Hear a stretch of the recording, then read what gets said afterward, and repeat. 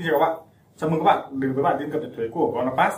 À, như vậy thì ngày 31 tháng 3 đã qua rồi, đây là hạn cuối cùng để chúng ta nộp tờ khai cũng như là báo cáo của năm tài chính 2020 với những doanh nghiệp mà kết thúc năm tài chính vào ngày 31 tháng 12 đúng không ạ? Và rõ ràng là sau khi mà chúng ta đã kết thúc dữ liệu cũng như nộp báo cáo thì một trong những cái câu hỏi mà chúng ta sẽ thường đặt ra đó là chúng ta sẽ lưu trữ dữ liệu này như thế nào? Và những cái năm gần đây thì tôi thấy là có một cái sự việc mà thường xảy ra đó là chúng ta vẫn quen với lại thói quen cũ theo luật kế toán cũ năm 2003 ấy đó là khi mà chúng ta lưu sau khi chúng ta hạch toán xong, chúng ta lưu dữ liệu thì chúng ta phải in hết ra giấy và chúng ta sẽ thực hiện lưu một cái tập chứng từ rất là lớn. Và thực sự thì bản thân trải nghiệm của tôi đối với nhiều khách hàng thì chúng ta sẽ thấy là cái lượng chứng từ đôi khi là nó là tung chứng từ, hàng thùng sổ sách sẽ được in ra.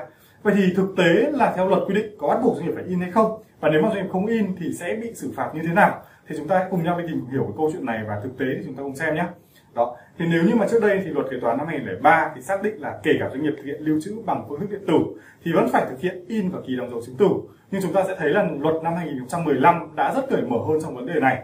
Và luật đã có hướng tiếp cận, mang tính chất là hiện đại hóa hơn đối với cái việc lưu trữ chứng từ đó là chấp nhận việc phương thức trên lưu trữ điện tử.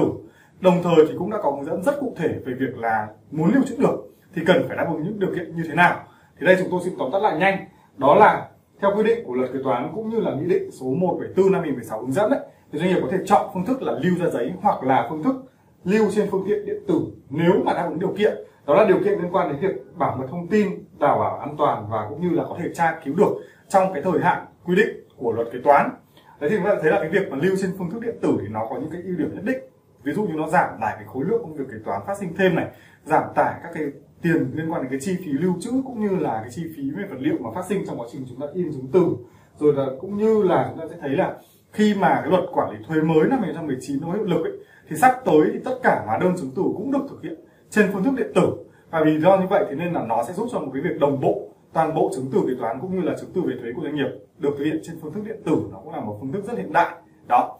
Thế thì chúng ta lưu ý thêm với tôi đó là khi mà chúng ta thực hiện lưu trữ bằng phương thức điện tử thì với chứng từ kế toán cần phải có một cái điều kiện ở đây mà tôi nghĩ là nó ràng buộc hơi khó với nền kinh tế Việt Nam hiện tại. Đó là tất cả chứng từ kế toán khi thực hiện lập bằng mức điện tử thì phải có chữ ký điện tử. Điều này đồng nghĩa với việc nếu như doanh nghiệp lưu chứng từ điện tử nhưng nếu không có chữ ký điện tử thì bắt buộc vẫn phải in ra kỳ đóng dấu bình thường như chúng ta đang làm hiện tại. Còn với sổ kế toán thì điều này không bắt buộc. Tuy nhiên, chúng ta lưu cho tôi thêm một điểm.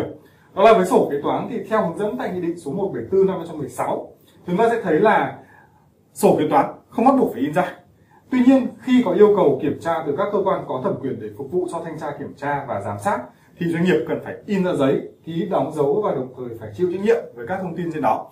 Thì đây là một điểm mà chúng ta lưu ý. Có nghĩa là gì có nghĩa là luật cho phép chúng ta lưu trữ theo các phương thức điện tử nếu thỏa mãn điều kiện.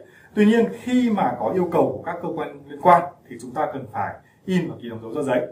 Trên đây là tóm tắt của chúng tôi liên quan đến cái bản tin về việc là có hay không bắt buộc phải lưu trữ chứng từ theo phương thức điện tử. Xin cảm ơn.